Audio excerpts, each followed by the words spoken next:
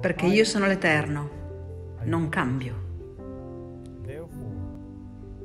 Per questo voi figli di Giacobbe non siete ancora al termine.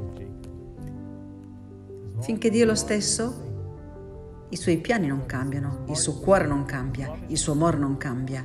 Dio non è cambiato. Alcuni dicono che Dio si è dimenticato di Israele, alcune persone dicono che la Chiesa ha preso il posto di Israele. Se dici questo allora dici che Dio è cambiato, perché Dio dice invece io sono il Signore, non cambio. Ecco perché. Voi non siete ancora alla fine, non è ancora finita.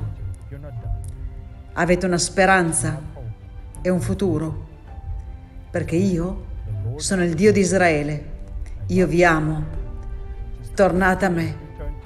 Tornate a me. E io tornerò a voi.